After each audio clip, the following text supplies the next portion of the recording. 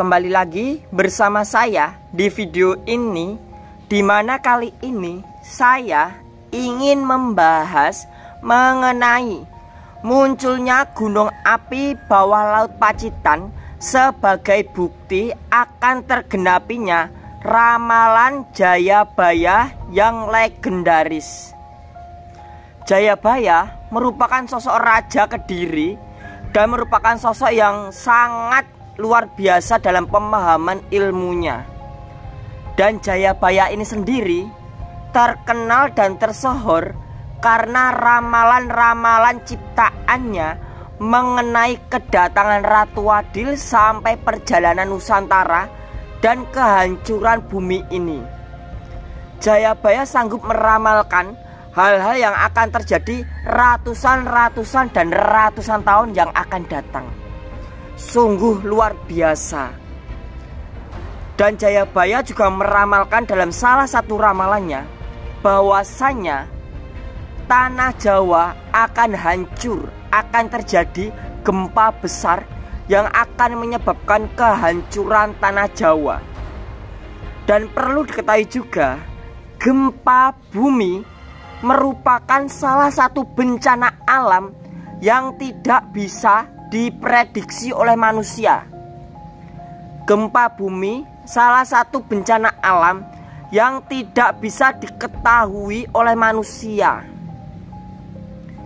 Walaupun seperti kedatangan tsunami ada radarnya, sebelum gunung meletus ada tanda-tandanya, ada radarnya juga, dan bencana-bencana yang lain pun bisa diketahui oleh manusia melalui kemampuan manusia. Tapi khusus bencana gempa bumi tidak bisa diketahui oleh manusia. Manusia hanya bisa mengetahui mengira-ngira kekuatan dari goncangan itu, tapi manusia tidak tahu akan kedatangan bencana itu karena bencana yang satu ini, bencana gempa bumi, itu adalah bencana alami yang disebabkan oleh lempengan-lempengan tektonik yang ada di lempeng bumi di mana ini jauh dari jangkauan manusia dan sangat sulit bagi manusia untuk mengetahui kapan terjadinya gempa bumi. Itu sangat sulit. Dan gempa bumi ini menjadi salah satu gempa yang ditakuti oleh orang-orang karena gempa ini bisa terjadi kapan saja dan mendadak dan akhir-akhir ini banyak orang-orang yang menyinggung-nyinggung mengenai kemunculan gunung api di bawah laut Pacitan. Kenapa terdapat gunung api di bawah laut Pacitan? Ternyata di bawah laut Pacitan di selatan Pulau Jawa khususnya di bawah laut selatan Pulau Jawa terdapat dua tumbukan lempengan besar.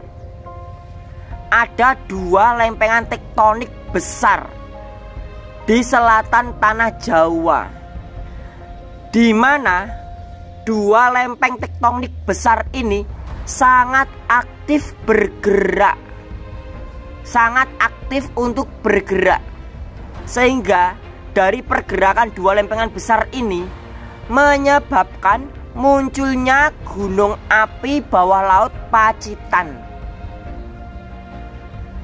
Dan perlu diketahui juga, gunung api bawah laut Pacitan ini menjadi salah satu tanda akan akan tergenapinya ramalan Jayabaya. Di mana gunung bawah api Pacitan ini masih aktif dan selalu aktif yang terbentuk dari dua tumbukan lempengan besar yang ada di selatan tanah Jawa. Dan jikalau sewaktu-waktu ada gempa bumi besar atau gempa megatrus yang disebabkan dua tumbukan lempengan besar di selatan Pulau Jawa, sungguh-sungguh tidak menutup kemungkinan akan kehancuran tanah Jawa dan sekitarnya tidak menutup kemungkinan tergenapinya kebenaran ramalan Jayabaya yang legendaris. Semoga saja kita selalu dilindungi oleh Sang Maha Kuasa. Semoga kita selalu dilindungi oleh Tuhan. Dan jangan lupa untuk selalu beribadah.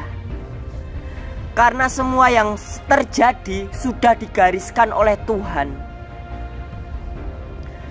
Dan sebenarnya sudah banyak tanda-tanda yang sudah dimunculkan, sudah dinampakkan oleh Tuhan kepada para manusia mengenai kehancuran-kehancuran yang akan terjadi di Nusantara ini.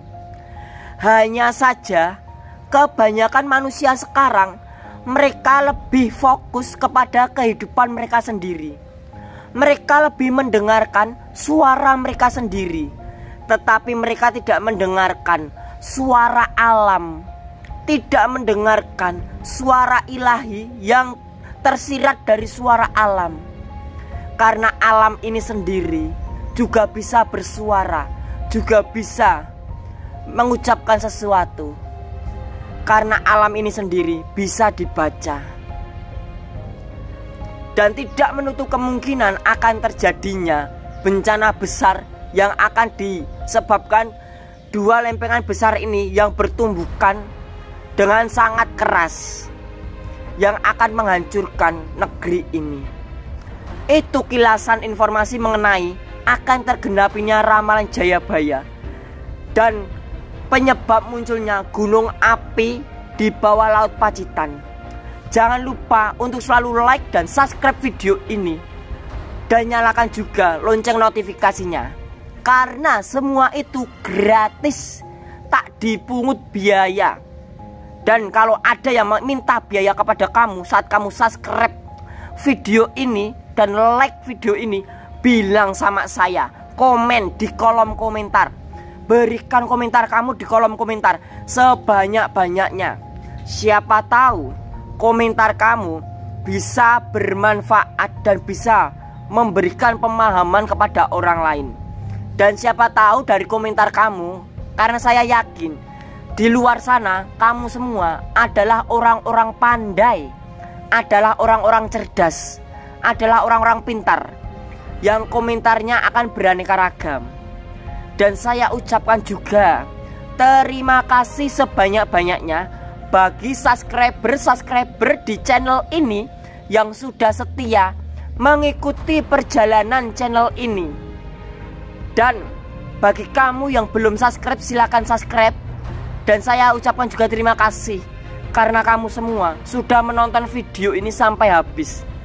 Karena channel ini, video ini dibuat dan diciptakan buat kamu semuanya supaya kamu puas, supaya kamu dapat pemahaman, dapat ilmu dari channel ini yang bisa bermanfaat buat kamu semuanya.